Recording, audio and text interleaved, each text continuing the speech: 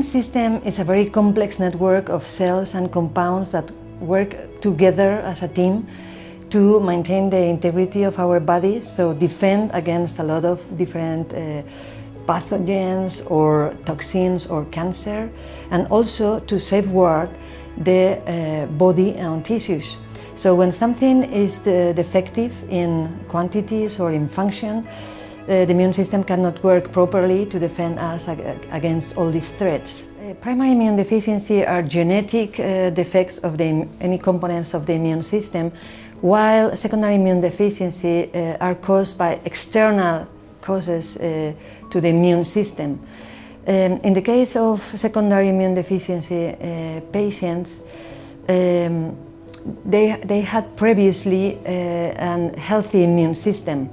So they can uh, restore their immune systems after the, the um, disease is cured or treated. Most of the secondary immune deficiencies that we see, which are secondary to hematological malignancy or secondary to treatments of autoinflammatory or autoimmune diseases, uh, uh, behaves more than uh, antibody deficiency. So they show very similar patterns of infections, mainly respiratory infections, but there is a proportion of, of, of, secondary immune deficiency patients that behave more than a combined primary immune deficiency and they are susceptible to high-risk infections or life-threatening infections. Yeah, sometimes it's very tricky to differentiate uh, a, a, an underlying primary immune deficiency in a patient with secondary immune deficiency, which may be mainly a proportion of patients with hematological malignancy, for instance,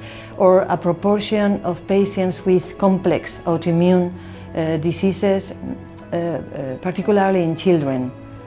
So um, we have to do a special uh, deep uh, immunophenotyping or genetic studies would be essential.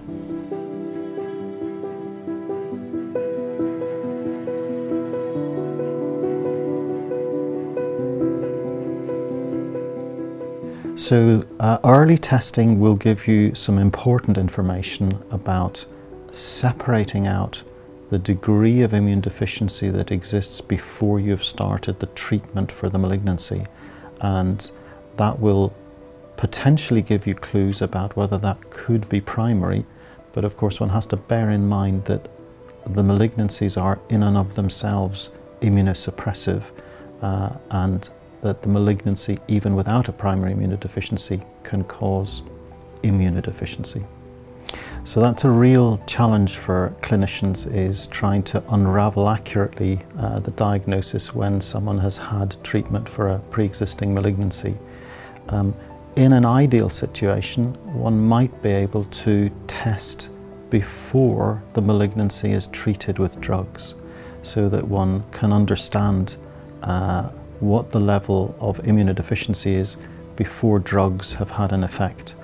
That will tell you whether uh, the malignancy itself, the disease, be it multiple myeloma, CLL, NHL, is causing a disease-related immunodeficiency. And of course, drugs can further uh, increase the immunodeficiency. Having said that, I think the fundamental challenge sometimes is when you do not have that information and when you are trying to understand if in fact the malignancy is a malignancy that is associated with an underlying primary immune deficiency.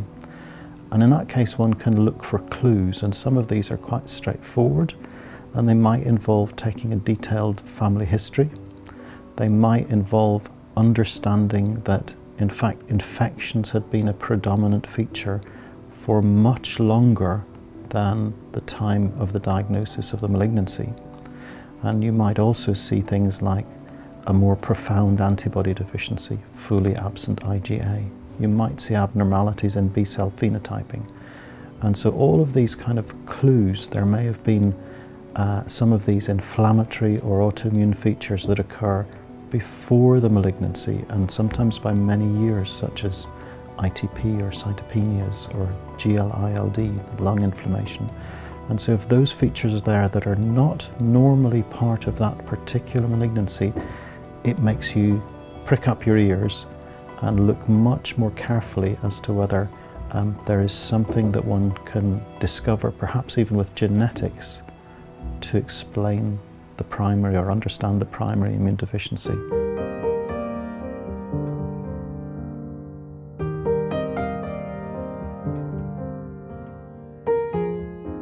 Mi nombre es, me llamo Juanma, eh, tengo 56 años, estoy casado, tengo dos, dos niños, eh, soy fisioterapeuta y tengo una vida, la verdad es que me cuido bastante, intento cuidarme bastante, cuido mi dieta, hago ejercicio, eh, trabajo, tengo relaciones sociales, una vida prácticamente normal.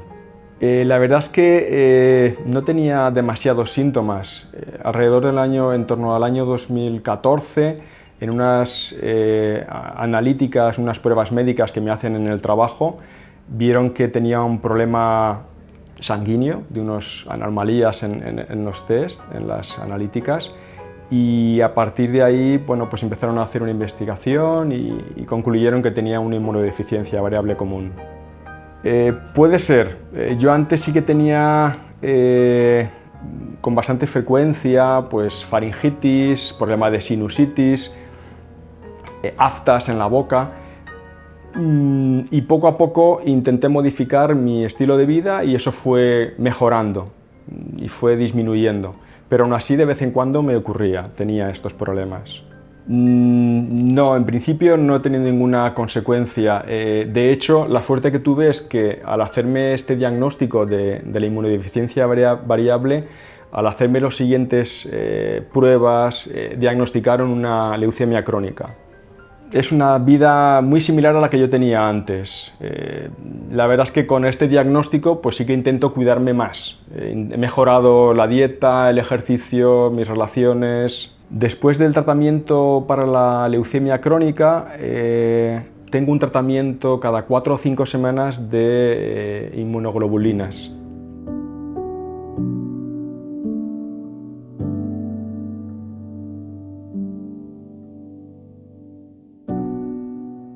correct diagnosis of immunodeficiency disorders, for that matter for any disease, is important because if you delay the diagnosis, the complications would be that many more and the results of treatment would be less appropriate.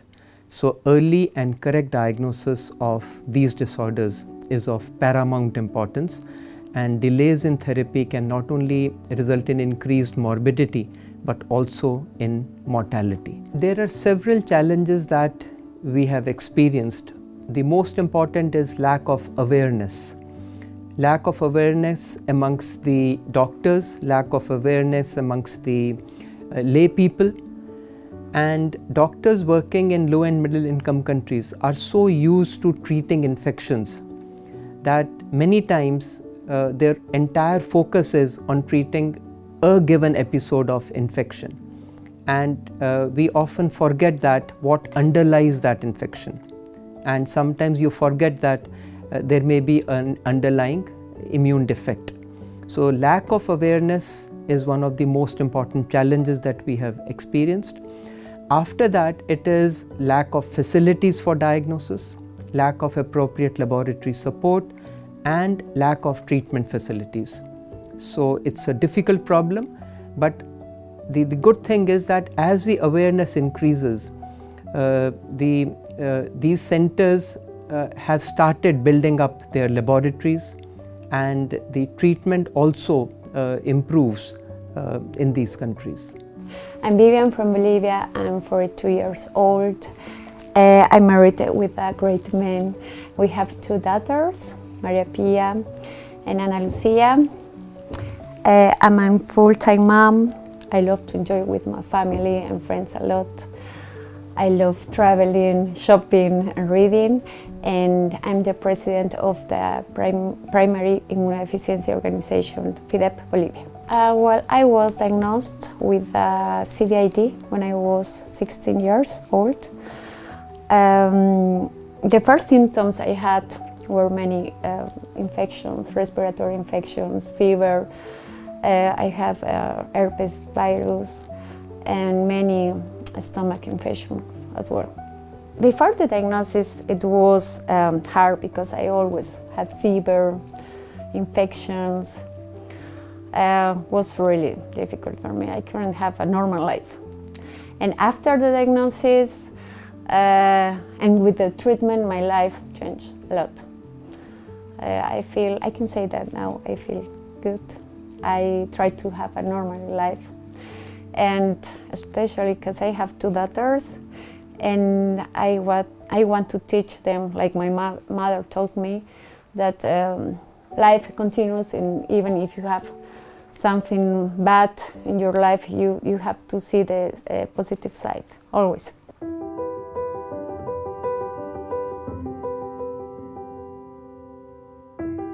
I receive uh, intravenous 40 uh, grams every month and I feel, I feel very well when I receive. Uh, sometimes before I got uh, treat the immunoglobulin therapy, uh, I feel tired because I, I, think it's like uh, my gasoline. yeah, I feel good. I feel um, very well with the treatment because without the treatment, without the uh, diagnosis, uh, I was always ill, always sick with many infections, fever. That's not life. um, so immunoglobulin uh, essentially means the same as antibodies and uh, there are proteins in the blood uh, that defend against infection and there are three main classes called IgG, IgA and IgM and patients that are deficient in those um, can have replacement. Replacement contains only IgG which is uh, usually only IgG, which is the main uh, immunoglobulin or antibody in blood. So you're replacing the most important one. Uh, and that can be done uh, by a number of routes, uh, intravenously or subcutaneously, and that's expanded recently to try to optimize the route and the dose and the cycle for the individual patient. In India, availability of immunoglobulin is not an issue but access to immunoglobulin uh, can be an issue. Health in our country is a state subject, so it varies from state to state. But the good thing is that several states now provide free access to immunoglobulins for their patients with primary immune deficiency. So, this is something which is uh, very positive. There are other states which have started providing uh, access to immunoglobulins, uh, but still uh, they, they, we still need to work with them so that all patients in these areas get free immunoglobulin uh, therapy. However, there are several countries in this region where immunoglobulins are still not easily available. So we have to work with these companies, we have to work with the governments in these countries and try and assure them that this therapy is cost effective and that it improves the quality of life of these patients. And these patients need treatment and there is no way you know we can avoid treatment of these patients. So there is wide disparity in this region uh, as far as access to immunoglobulins is concerned. Uh, i think the more important thing is to have an early diagnosis and, and treatment and then you can have a good quality of life if you have those things.